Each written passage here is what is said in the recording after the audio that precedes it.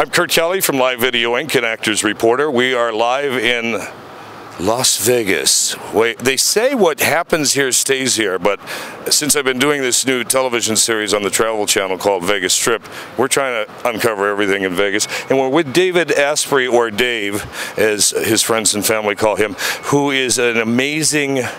Some people would call you a geek. Yeah, I've been accused of that more than once. So tell me about your geekdom. Well, I'm a VP of cloud security at Trend Micro, and it turns out I've been for almost the last 20 years involved with cloud, the very early days of cloud. And as I understand it, there are a lot of people here today thinking what happens when their content goes up into the cloud. So I thought maybe today we could chat about that. Well, it's interesting because most people around the planet drop stuff when we're recording, um, and most people around the planet are using clouds and have no concept of what they are. Or, gosh, when I'm watching my favorite concert on my app through Google or my iPad or watching it on my computer at home, you're actually behind everything they're getting. It's true the cloud is now what powers all of your mobile devices. So the idea that it's on your iPhone is sort of kind of true. We might have downloaded your video or your audio down to the iPhone, but it was sitting somewhere in the cloud before it even got there. So people in our business, in the media business, will think of the cloud as, oh, it's on iPhones, it's on PCs and all. But that's kind of a very advanced picture of the cloud because really the cloud is a bunch of centralized data centers where you might upload terabytes and terabytes of your video and then distribute it carefully to, to end devices. So we're looking at the whole security story there that says how do we secure that end device? How do we make sure that your core content that you've put in the cloud doesn't get polluted or changed or just lost? So different from a um, Norton or a, Kapers- a Kaspersky or um, McAfee or other firewalls, if you will, even Windows, you provide a higher level of encryption to hopefully secure people's money, their technology, and their intellectual property. We do. And what we've found is that media companies have enormous requirements for storage and for compute power in the cloud. So what they're doing is they're uploading their core intellectual property you know, by the terabyte up into the cloud, and then oftentimes it's not that well protected. So what we do is we add a layer of encryption on top of it to protect it so that no server can ever talk to your important intellectual property until we basically certify that that server is who it says it is. And that's one of the fundamental cloud problems. You, don't know if anyone is who they say they are with the cloud. Well, we make sure that servers are who they say they are and even people are who they say they are before they can get to what you've put up there. I don't, but hypothetically, say I'm from the company Dewey Cheatham and Howe, and I've decided that I like your bank account and I like the stuff you're downloading by pick a band uh, or a film that's really hot right now. And so I'm going to bootleg your stream so I can resell it. What happens? It turns out that cyber criminals are even sneakier than that. They might bootleg the stream, but they also might put malware up there at the same time. So what you'll do is you'll, oh look, there's a fan page. It's not the official one, but it looks pretty official. So what they'll do then is you'll you'll, you'll stream your stolen content at the same time. They're putting software on your computer that steals your password, steals your bank account info, and then they'll log into your Bank of America or whatever else account, and they'll download download they'll wire transfer the money out of your account. If you're a small business and a lot of the people in our industry are small businesses, mm-hmm. you're not protected by the government even. So if it's excuse a, me, if it's a personal account and someone steals your money, you get it back from the bank. If you're a business and someone uses your password to steal your money, you're SOL. Just like that. I, you're seriously right. Yeah, so it's a real problem what we do then as a company at Trend Micro is we look at how do we protect all these devices that are connecting to the cloud, and then how do we con- protect your core data that's in the cloud.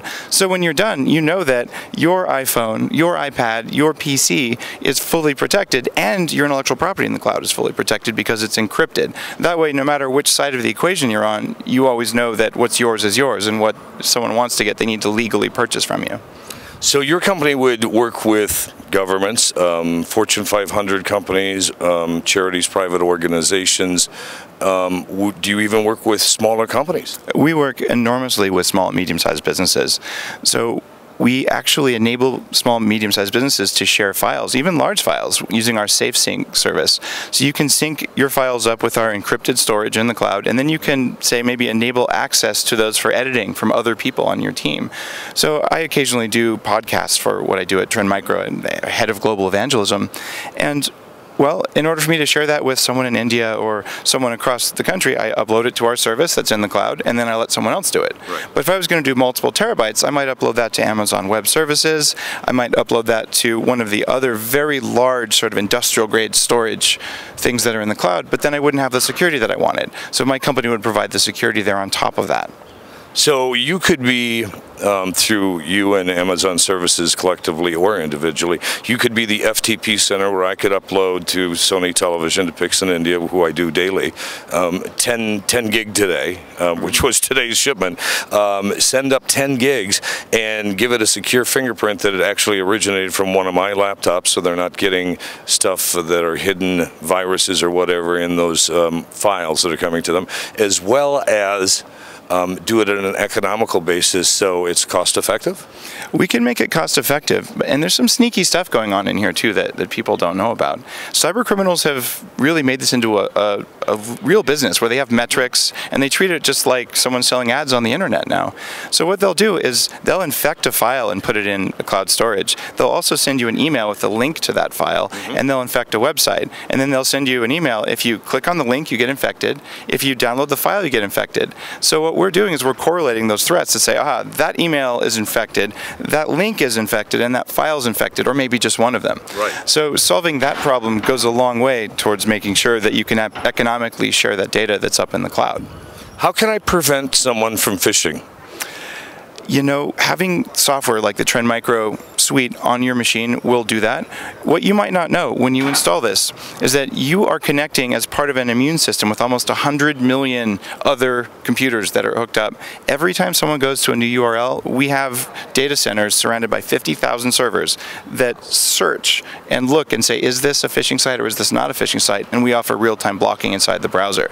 So if you're doing banking or you're dealing with your own intellectual property and you're, moving around the internet and you're not protecting yourself, even on your iPhone or even on your Mac.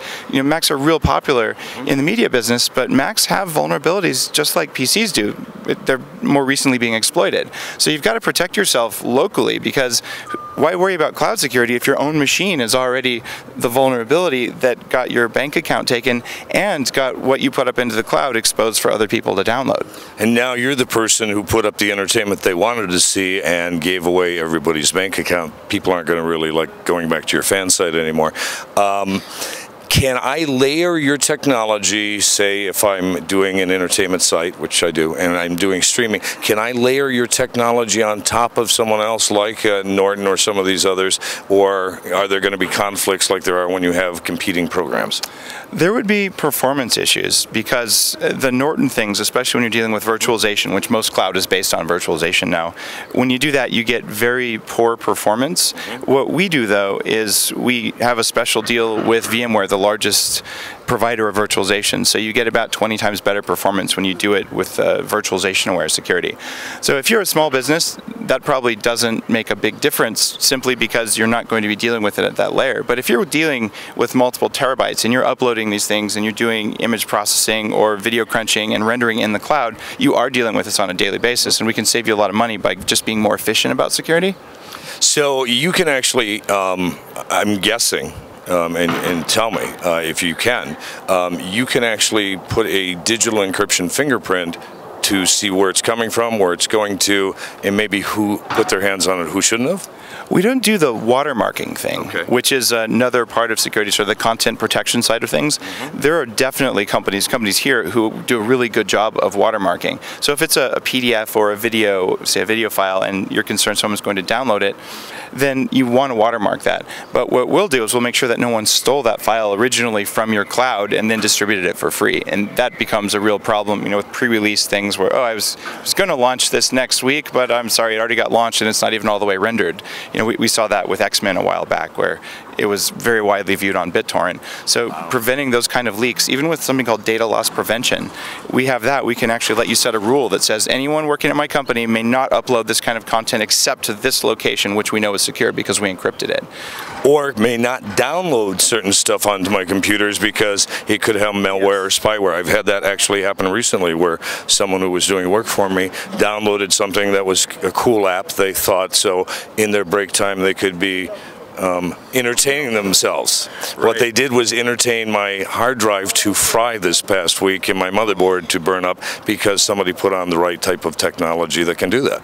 That's that's terrible. It's pretty unusual for the hardware itself to get broken, but there are some things that, that dig in at a very low level that can cause overheating and things.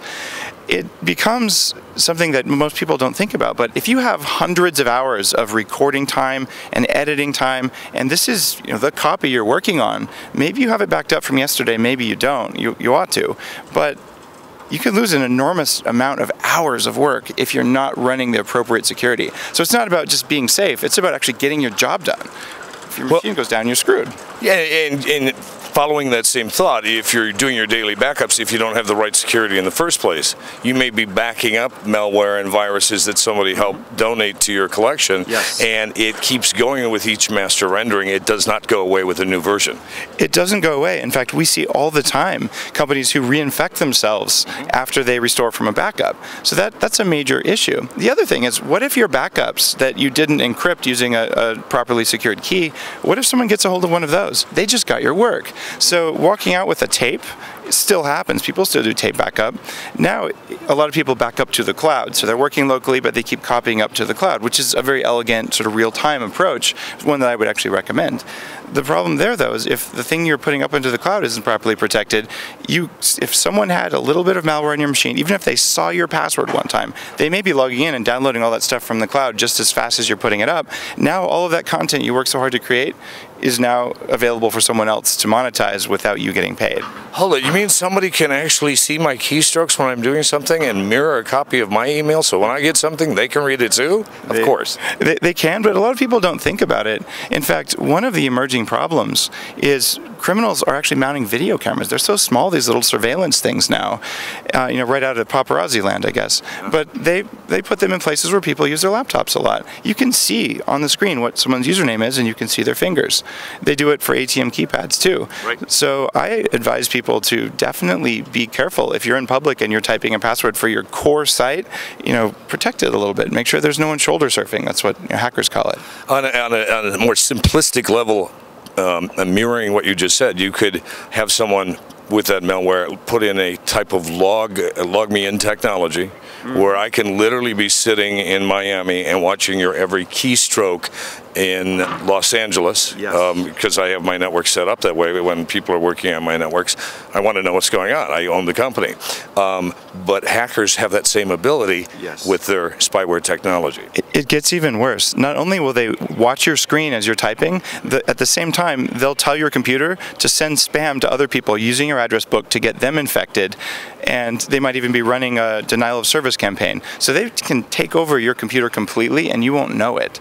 And that becomes pretty scary just because you know we all like to be you know good good citizens of the world. And if every time you turn your computer on you're sending out spam that's getting other people infected you're not helping. We found networks of millions of computers controlled by one criminal Wow. And it doesn't necessarily have to be people in your address book. They can be using your address to originate spam to hundreds of millions of people around the planet because they have the list of people they want to hack. They can indeed, but the best spam attack is one where it comes from you to me because I'm in your address book. So, oh, I'm going to open it because you're a friend. And that's right. a good way to get past these phishing attacks. And that's why, you know, it's, it's very hard for people to avoid just using their mind to avoid spam because or to avoid malware and phishing. You just don't know. But if you have software running, it'll say warning, warning. That link that was in your that email from the friend, the guy you know, that link was actually going to an infected site. Don't click on it, and it'll actually disable the link for you. That's one of the things that the Trend Micro software does. Well, what's interesting is if you go into a store in most places around the world and you take a loaf of bread without paying for it, you're stealing. Yes. Most people have the concept, and I know this from talking to people around the planet. Oh, well, I downloaded the music, but I only play it at home. Um, that it's okay to take other people's intellectual property. And at this convention alone, there's about $20 billion worth of recorded business we know about. Wow. If you take the record industry and the film industry and the television industry, it's staggering well beyond that number. Those are recorded numbers based on what we can actually account for. Mm-hmm. The hidden accounting is probably two to three times that, I'm guessing. It would not surprise me at all. And, and that's why there's so much pressure to steal files from the cloud, uh, especially ones that are hot and new. Right. So um, I look forward to seeing more of your future developments because you um, are definitely on the cutting edge, not the bleeding edge of technology. Thank you, Kurt. It was really a pleasure talking today. Thank you. Now, can I get you to do like just um, a quick couple of hi, your name, your company, Sure. you're here at NAB, and you're watching Actors Reporter with Kurt Kelly or something. And I'm like watching that. it. Okay. Or well, you're telling the viewer Okay. you're watching, or stay tuned for more, whatever. Okay. The ad lib Stay celebrity guy. tuned for more of actors Reporter, reporter with Kurt, Kurt Kelly with Kurt at Kelly. NAB 2012. Live Video Inc. Completely ad lib it. You Live know what? Video Inc. Here, or we Kevin? could- uh, yeah, both. But All right. what you can do is a little cheat. Sweet. Is just kind of hold that with your thumb there. You're the man. Live Video Inc. Kevin Kelly. All right. No, it'd be thumb. Sorry, Kevin Kelly's the head editor at Wired magazine. Yeah, I know. like, I'm, not even I'm, related. I'm friends with him too. So. All right, tell him I said hi.